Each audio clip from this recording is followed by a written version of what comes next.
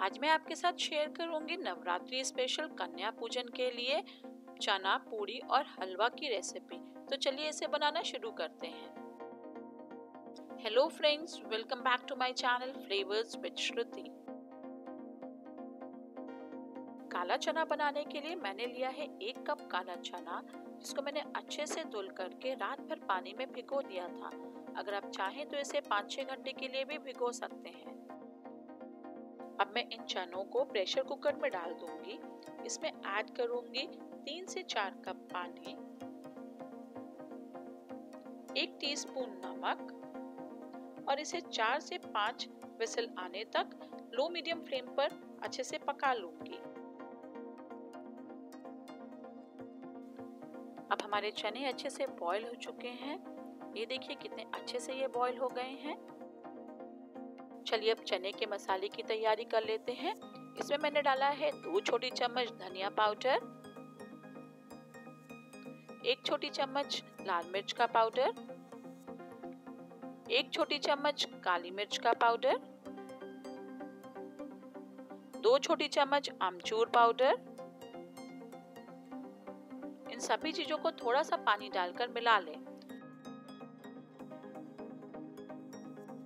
ऐसा करने से हमारा मसाला तेल में जलता नहीं है। अगर हम तेल में डायरेक्टली मसाला डाल देंगे तो हमारा मसाला जल सकता है।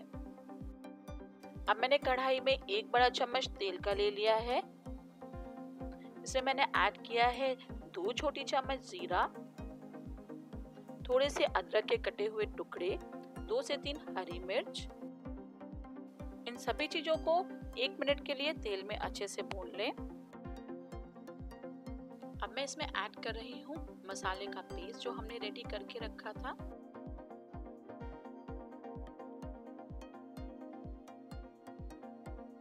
मसालों को आपको दो से तीन मिनट के लिए अच्छे से भूनना है। दो से तीन मिनट भूनने के बाद आप देखेंगे कि मसालों में से ऑयल निकलने लग गया है। अब मैं इसमें ऐड करूँगी उबले हुए काले चने, जिसमें मैंने एक बड़ा चम्मच पानी का भी ऐड किया है। स्वाद अनुसार नमक ध्यान रखें कि आपने नमक उबालते समय में भी डाला था। आप इसको ढक करके अच्छे से पाँच मिनट के लिए पका लें। पाँच मिनट बाद आप देखेंगे कि आपके चने अच्छे से ड्राई हो गए हैं। पानी बिल्कुल ही सूख गया है। अब मैं इसमें ऐड करूँगी कटा हुआ धनिया।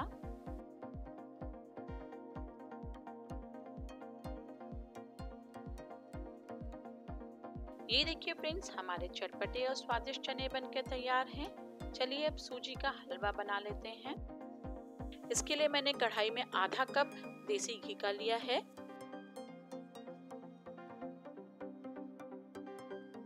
जिसमें मैं ऐड कर रही हूँ दो चम्मच किशमिश। किशमिश को आप देसी घी में भून लें। इसमें मैं ऐड कर रही हूँ आधा कप सूजी का। सूजी को आप लगातार चलाते हुए अच्छे से गोल्डन होने तक भून लें। इसको आपको लो मीडियम फ्लेम पे भूनना है। इसे भूनने में मुझे कम से कम तीन से चार मिनट लगे हैं। आप देखेंगे कि सूजी का कलर चेंज हो गया है। अब मैं इसमें ऐड कर रही हूँ पिसी हुई चीनी। अगर आप चाहें तो साबुत चीनी भी ऐड कर सकते हैं।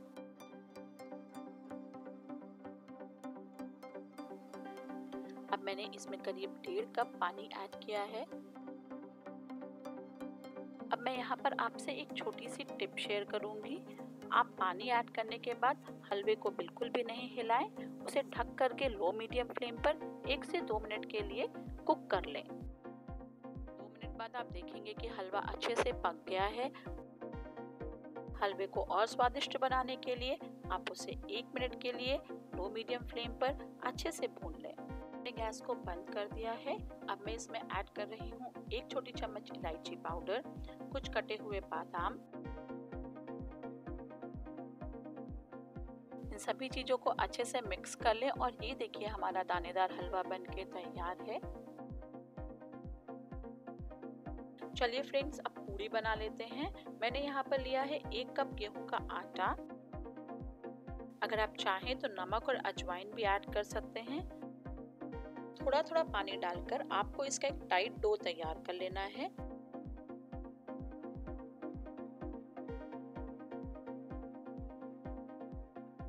ये देखिए फ्रेंड्स हमारा डो भी बन के तैयार हो गया है। अब हम इसे 15 मिनट के लिए ढककर छोड़ देंगे।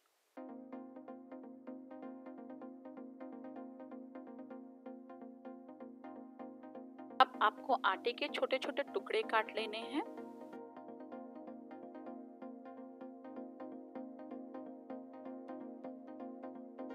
यहाँ पर आटे की लोई को तेल लगा करके बेला है। अगर आप चाहें तो सूखा आटा भी इसके ऊपर डस्ट कर सकते हैं।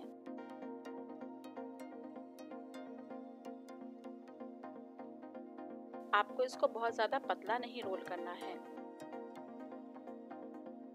तेल को अच्छे से गरम कर लेना है। ध्यान रखें कि तेल बहुत अच्छे से गरम होना चाहिए, तभी उसमें पूरी डालें। ये देखिए फ्रेंड्स हमारी पूड़ी बनके तैयार हो गई है। दोनों साइड से पूड़ी को अच्छे से सेक लें। फ्रेंड्स आप भी ये प्रसाद माता रानी को बना करके चढ़ाएँ और मुझे कमेंट सेक्शन में बताएँ कि आपको ये रेसिपी कैसी लगी। अगर आपको मेरी रेसिपी पसंद आई हो तो मेरे चैनल को सब्सक्राइब करें। इस वीडियो को लाइक एंड शेयर करें। Thank you for watching